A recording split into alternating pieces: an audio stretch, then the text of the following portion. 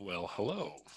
It's uh, nice to see me again. Um, I don't know if you can see, let me make it wider. You can see right over my shoulder here. There you all are. So, um,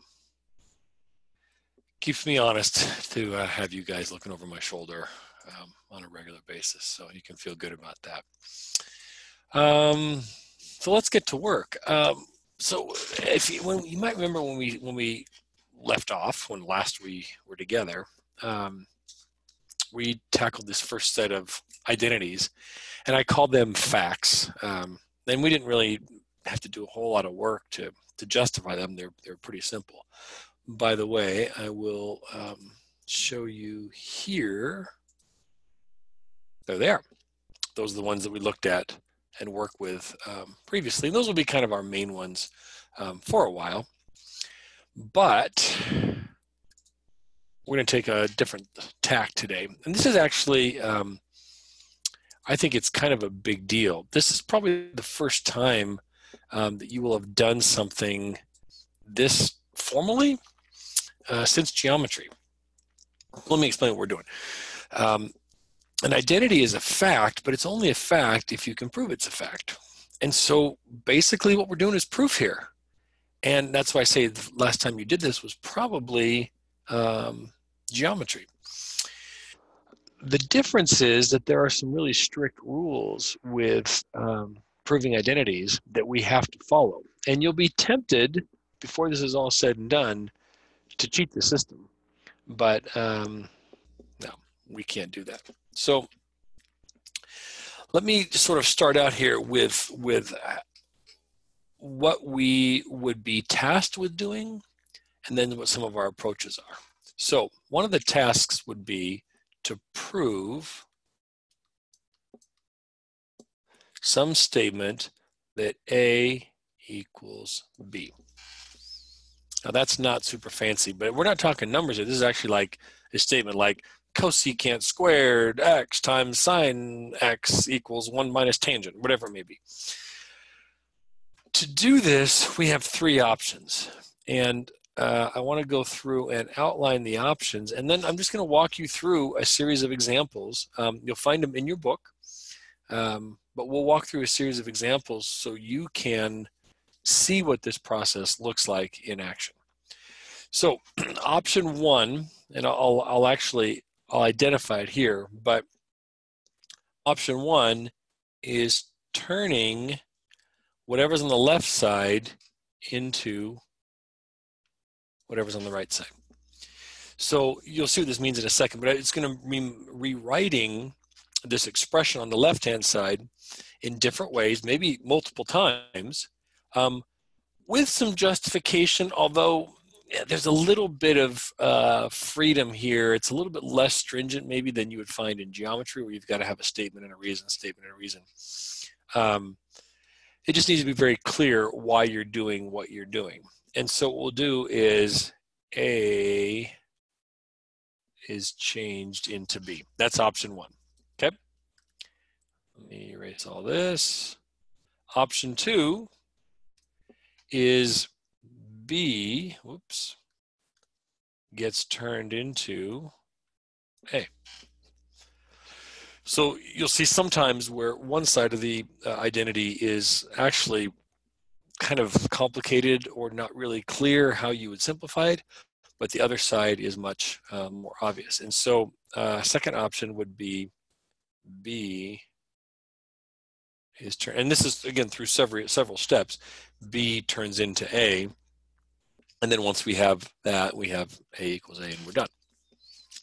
The third process is a little bit more complicated, but it'll happen sometimes where you're not going to easily get one side of the identity to be turned into the other side. And in fact, you'll have to work with both of them in this form where A um, gets changed into some new statement, C, and B also gets turned into that new statement, C, and then C equals C. So I would write it as A goes to C and B goes to C. If this is all seeming a little bit hypothetical and not really clear, then way to go. You're right in the right spot. Um, so we're just going to start uh, beginning this process and we're going to be using, again, primarily for now, just these identities, these ones that I've given you before. Uh, you remember that there's many more to come, but for now at least, that's all we're going to use. So let me go on to the next page. And I want to go through uh, a series of problems. I have three problems we'll do. And just want to walk you through them and give you some, some experience with this. But I want to make this really clear. There is one really fundamental foundational rule in this process. And um, well, I'll just I'll just say it sort of my own terms. Um, no crossing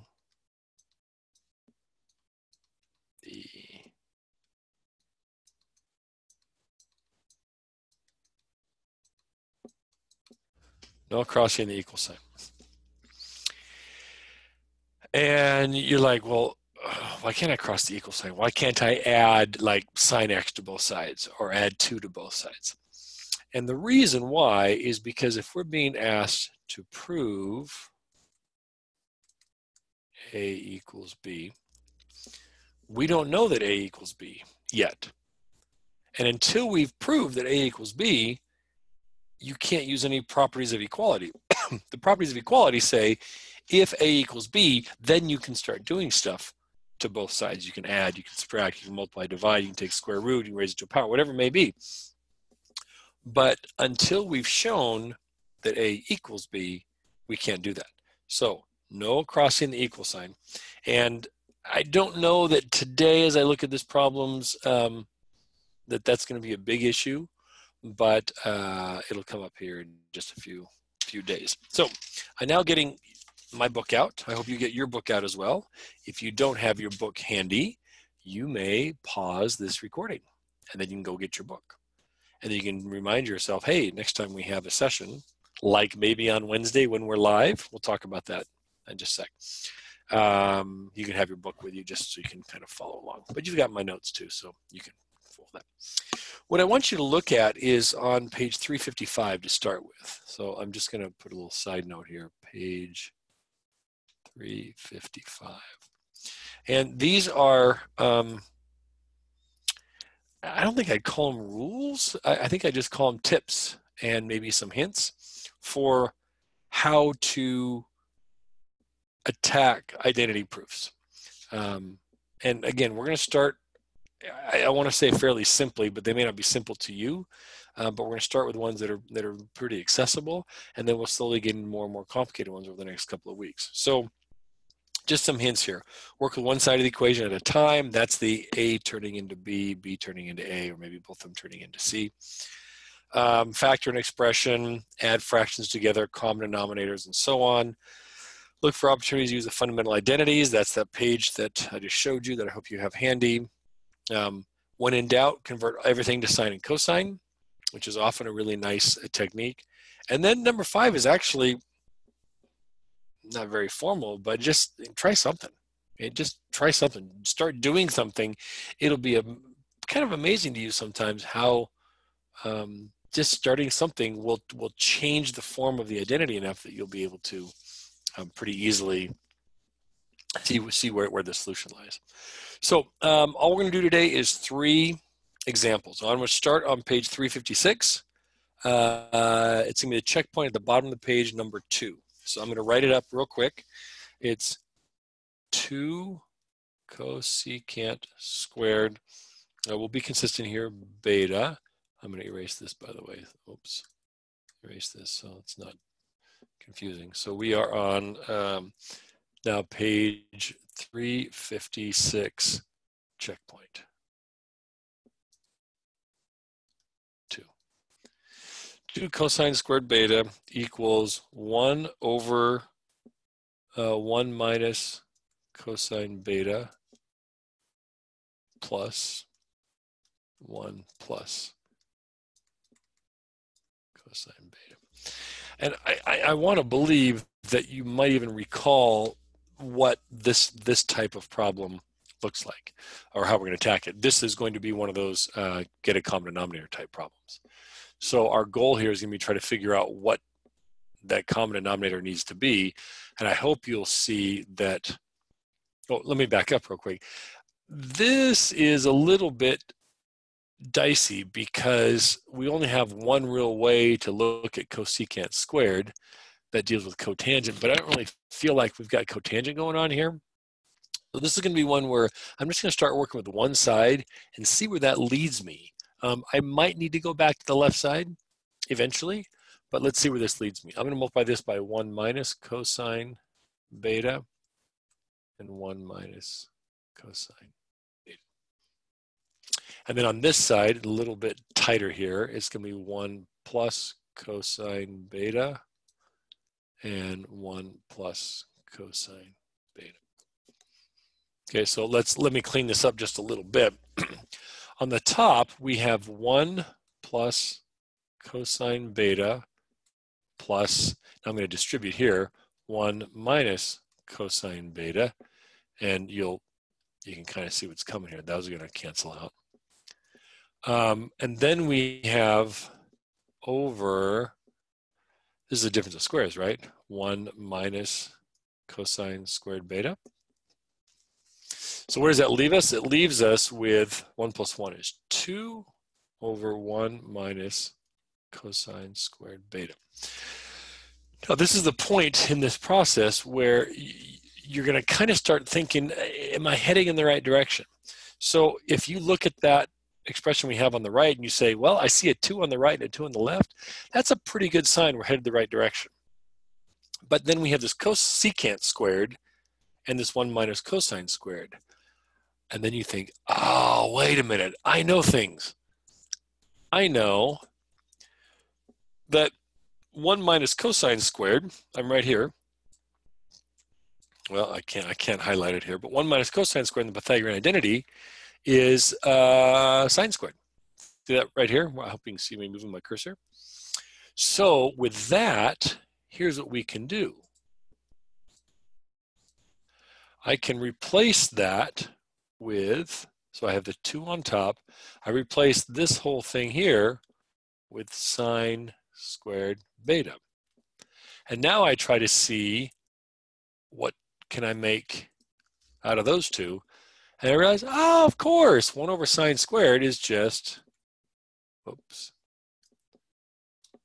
just cosecant beta. Yikes. So this is a case where we started here, then we went to here, then we went to here, then we went to here, then we went to here. So like there, there, there, there. If I had a tall page, I would have just gone this, done this vertically, but I kind of wanted to save room. So here now we've proved this identity, that 2 cosine squared beta equals 1 over 1 minus cosine beta plus 1 over 1 plus cosine beta. Now, to be completely honest with you, it's not going to change our lives a lot that we have that identity. But this is the this is the, the process we're working on. Okay, this is where I'd ask you for questions and you'd ask me questions. But I think what we'll do on this is um, as you're going through these problems, jot down, you know, pause the recording, jot down any questions you have, and maybe send it to me right in real time. Just shoot me a text or something, or send me an email if that's easier, and just say, "Hey, can you explain that to me one more time?" Then I'll go back and look at the um, at the you know the, the section of the recording or the, the lesson and, and help you with that. Okay. Of course, when we do this live, it'll be much easier, and maybe that's what we'll be end up doing. Okay, let's go to question number two. This is going to be page whoop, 357. This is going to be checkpoint number four now. And I hope you, you understand I'm doing the checkpoints because you can read the examples on your own. So you don't really need me to go through the example with you. Um, I think we'll do both of these, and I think I'll, I'll, show you why in just a second. So let's go this. Let's go cotangent. Cotangent, well, let's make it cotangent. Cotangent x secant x equals cosecant x. And, and I think that um, I want to draw your attention to the, I don't know if it's really a hint, but look at right by the words example four, says converting to sines and cosines. This is a really good example of a problem that very likely will be easily solved if we convert everything to sine and cosine because we've got so many different expressions. In fact, these are all the three reciprocal identities. Um, let's see what we come down to. Cotangent x is cosine x over sine x. And secant is 1 over cosine x. And I hope that's pretty obvious now. Cosines cancel, and we end up with 1 over sine x equals cosecant x, and then cosecant x equals cosecant. So it's actually not that difficult a problem um, when we decide to turn it into, I'll put this up here too, when we decide to turn it into a uh, sine and cosine problem. Now you notice I'm not really justifying any of these uh, st steps on the right hand side. That's what I was getting at before. Um, in your book, you'll see in red uh, that there are some justifications there.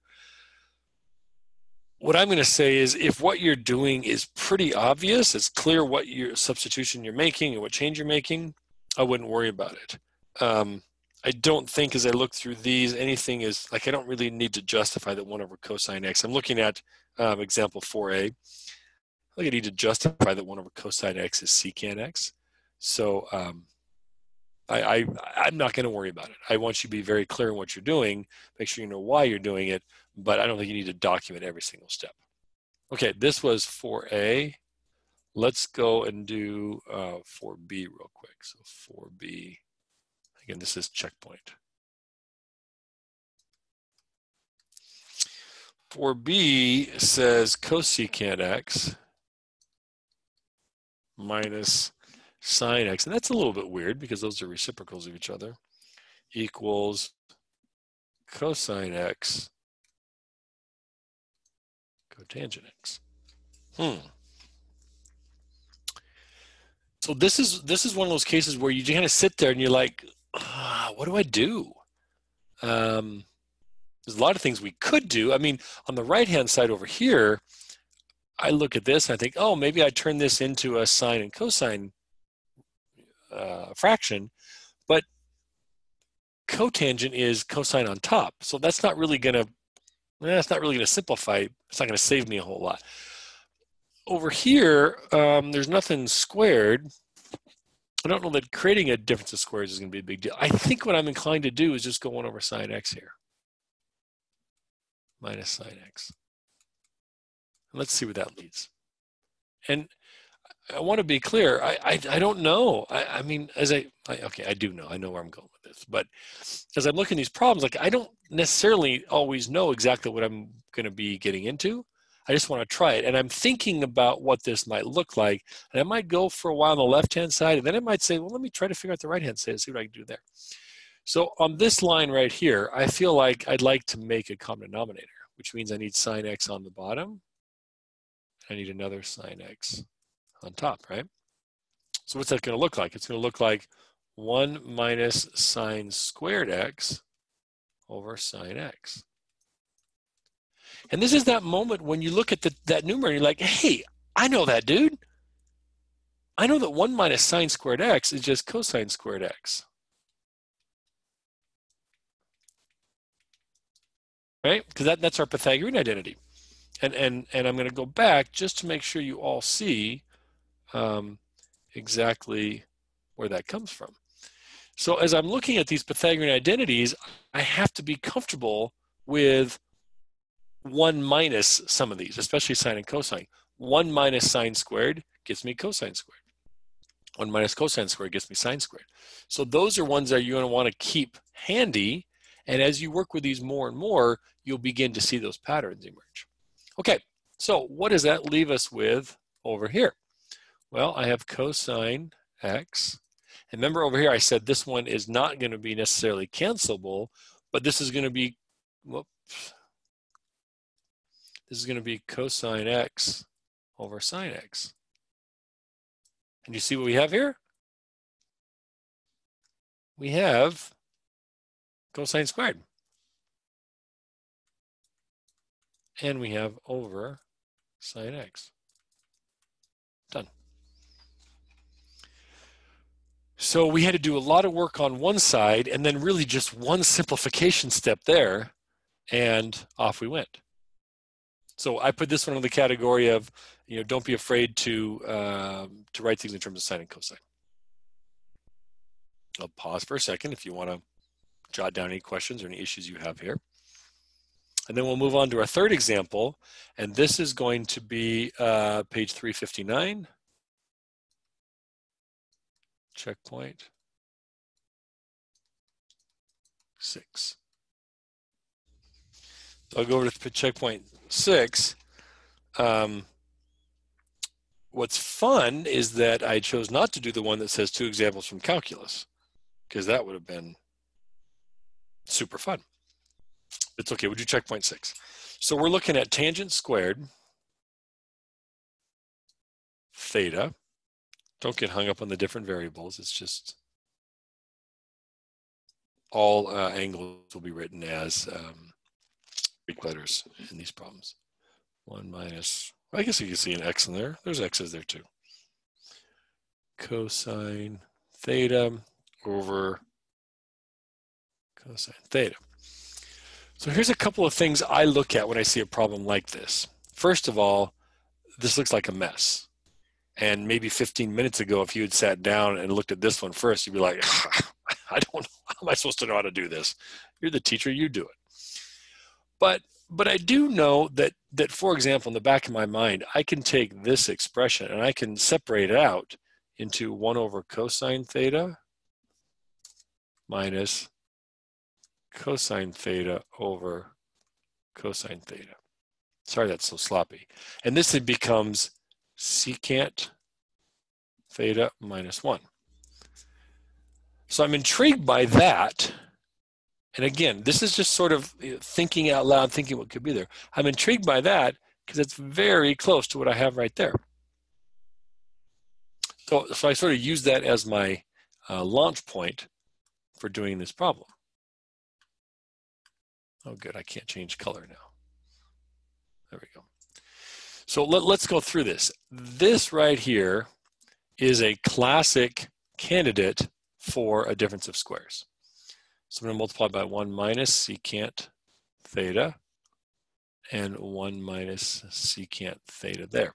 And I, I will again draw your attention to this looking kind of like that, but not totally. So we've got some issues here. Okay, so this is going to be 1 minus secant theta times tangent squared theta all over, now this is my difference of squares, 1 minus secant squared theta. Great. Now it's just a bigger mess. But I know that when I get these ones and these um, you know different ratios squared that I can go back over here and I can think about what does 1 minus secant squared look like. And I want you to really pay some attention to this middle Pythagorean identity right here. If I subtract 1, I get secant squared minus 1. That's not what I want.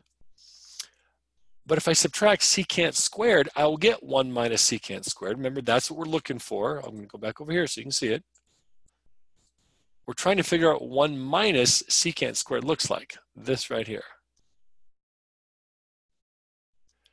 So as I go back,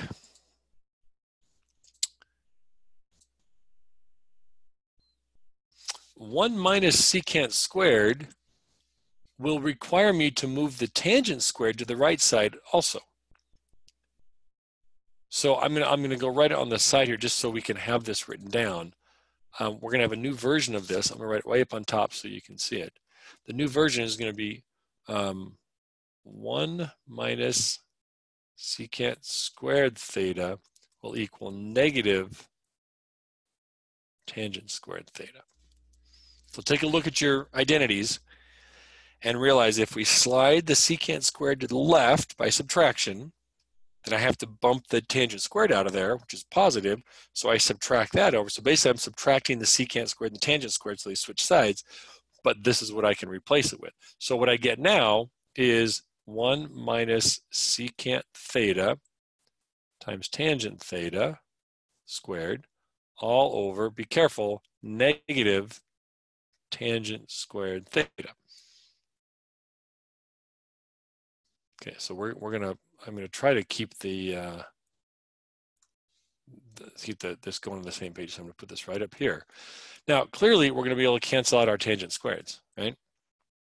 So I'm left with minus one minus secant theta. And remember I said that what I had way over here looked very similar to what I had there, but it was slightly different. But look at this minus sign. Look what happens.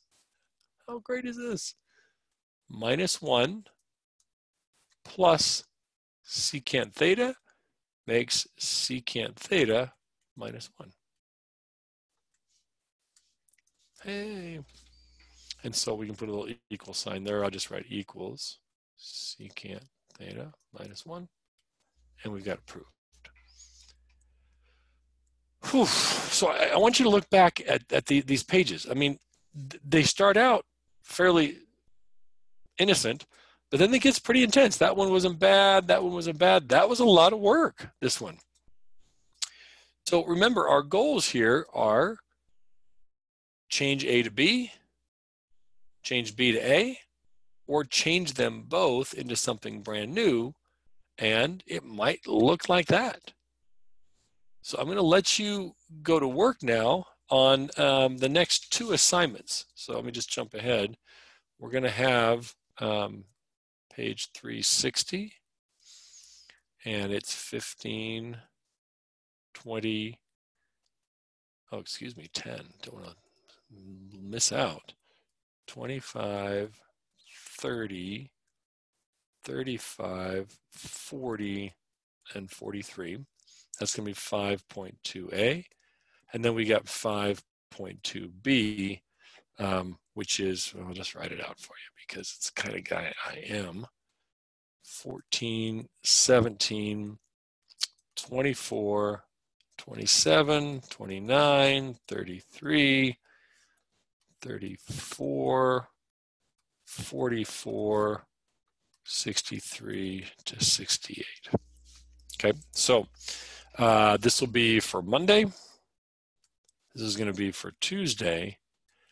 And our plan still is that we will meet live Wednesday at 11 o'clock. There's two things I need to tell you. First of all, I need to send you the um, link, and I will send that out probably, uh, you should have it by now. Um, I hope to have it out by the by the weekend, by the end of the weekend or first of the week. And um, also, it looks like we're going to have a staff meeting uh, at 10 o'clock that morning. So stay tuned. If it starts running long, I may have to shoot you all a quick text or, or check an email that we may have to push it back to 11:30. But I'm going to stick with 11 o'clock. I don't know that. Excuse me. We have that much to talk about, but um, we might. So um, hope you're doing well. Miss you guys. Uh, look forward to seeing you on Wednesday. Bye.